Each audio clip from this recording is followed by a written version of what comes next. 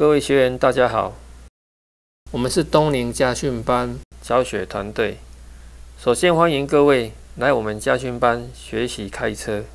三十五天以后通过考试，就能顺利拿到驾照。学习过程中，我们安排学科课程。为何学开车还要另外拨时间来上学科？我在上班，时间上无法配合。课程内容考试会考吗？有没有另外学习平台与方法？学员的反应我们都听到了，所以我们也做出了改变。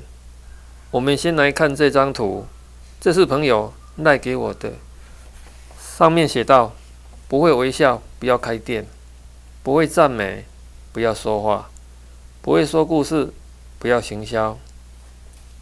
我想问学员，这三句话对你工作有帮助吗？他讲的有道理吗？我觉得这三句话很受用，也会分享给朋友。那跟考驾照有关系吗？当然没有关系，不过有共同点。我们都知道，从小学念书到踏入社会工作，经过无数大大小小考试，学校教的都是应付考试。你还记得学校考的三角函数吗？现在有在用吗？跟生死有关吗？答案都没有。然而上面的三句话有考过吗？学校老师有教吗？课本有吗？也没有。应该说是社会学。这里我们要告诉学员，来驾训班学开车，透过考试拿到驾照。其实考试以外的知识是攸关生死更加重要，没有比生命更加重要的。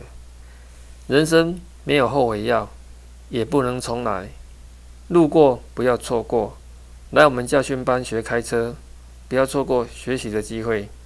这是我们建制教学网站的目的。网络提供二十四小时服务平台，没有区域限制，课程内容会随时更新。我们要给学员最好的服务，这是我们教训班应该有的责任。最后，感谢你。选对了驾训班，祝你顺利拿到驾照，行车终身平安。